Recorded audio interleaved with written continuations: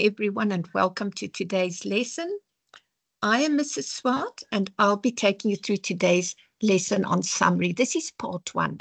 The next lesson will be a formal academic summary, but it's really interesting to see what exactly we mean when we look at something like a summary, and it's something that you can practice. So we'd like to you to remember that at the end of this lesson, we are going to have a quiz and you can test yourself. So what is a summary? When something is presented as a summary, it's brief, it's short, it's also known as a synopsis or a précis. And when you get names like that, then you suddenly think you don't know what a summary is, but you do know what it is. And it's so easy to do. Summarizing is a shortened version of something that has happened, something that is happening. It could be a shortened version of a book or a film.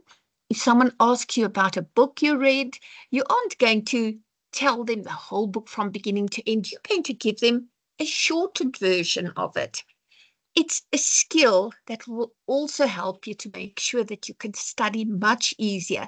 So we're going to look at something called mnemonic devices. And you'll see it's actually spelled MN, but we can use these mnemonic devices to make sure that it's easier to remember some facts that we might struggle with. But we'll look at that just now. And that is why we can't look at the academic summary in detail today. So at school, we do the traditional academic summary. We do a seven point summary for first additional language in point form and for home language in paragraph form. And of course, you are told to use your own words, which makes it exceptionally difficult. Now, to use your own words in this case doesn't mean that you have to write synonyms for everything. All they want you to do here is to maybe change um, if it says the man to change it to the pronoun he so that it's different. It's not the same as plagiarism when you have something where you have to or where you want to retell something. You can't just take a story like the Harry Potter book and change Harry Potter to he everywhere and say, oh, I've now changed it. That's not the same thing. With this summary, it's slightly different. The rules are a little bit different. So we don't want you to become confused and think, oh, you know, I have to change every single word to my own. You will be supplied with a topic as far as possible. So you're going to tweak and change things here and there.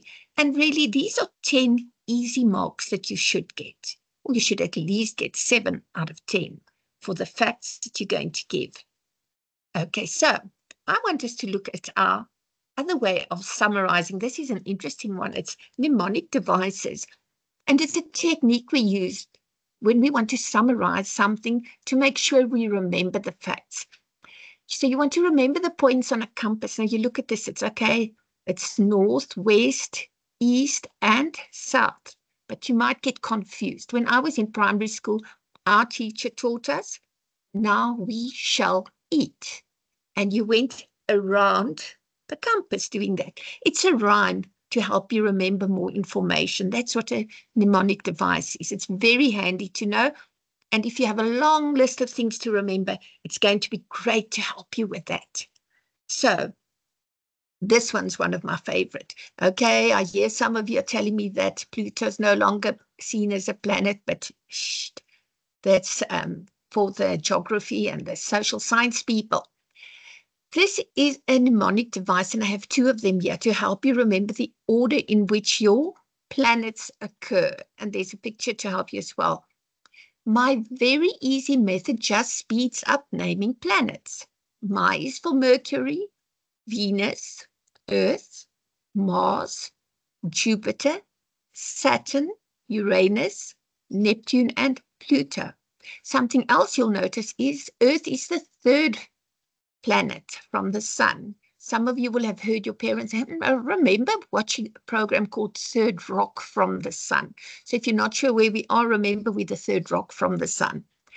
There's another one as well you could use. So you're going to remember whichever one makes it is easier for you to remember.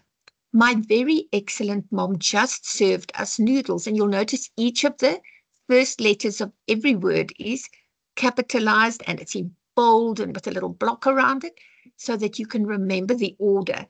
And that's where your mnemonic devices come in so handy. It helps you to remember facts, but you have to practice it. Otherwise, you'll learn this rhyme and you, when you finish, you're going to say, ah, mm, I can't remember what I have to remember. So it's something you're going to practice and get perfect. Okay, so let's see. Summarizing. If you tell us about your favorite book that you've read or your favorite film that to date, it's going to be a summary. You're going to give us most important facts, the highlights, the most important things that you remember or think about this book. If we look at things like books, there could be characters, plot, setting, characterization. You could use Freytag's pyramid. That'll help you for the idea of exactly how you will um, how you will explain or summarize the book. If you have to study for literature, then to know the characters, plot, setting, all of those things are going to come in so handy because you're going to remember everything better. You will only write down the most important facts, and that is what a summary is about. If you think of the following question, ask yourself, what did you do at school today? Yeah, we have a girl playing soccer, but do you think that's all she did at school today? I don't think so. I think she went to school. She then attended classes. After she'd attended classes and did her homework, she went to play soccer at school and things like that. Okay, so let's have a look here. When you report on your um, your summary here, you can't just answer with a phrase. You can't just say the little girl played happily. You have to give the you can't say the little girl because then you have a subject and no verb. And played happily, it's a verb but no subject. And if there's no verb, it's an incomplete sentence. If there's no subject, it's an incomplete sentence. Always use full sentences. It's not the examiner's duty to fill in the gaps for you. You have to fill it in. You have to tell the examiner what it is. So remember that.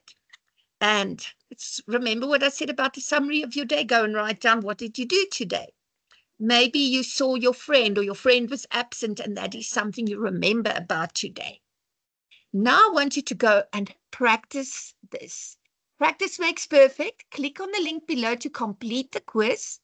Then when you've done that, you'll be able to see, hmm, okay, I didn't quite understand what a summary is about. Because yeah, you're not doing the summary as such. You are looking at the facts about the summary so that you're clear on what you have to do. There is the QR code so that if you want to um, if you want to click on the QR code, then you can do that and you can find out exactly what it is you have to do. So I'd like to thank you for being with me today and hope that you have a wonderful afternoon and that you have great success with your quiz. Thank you.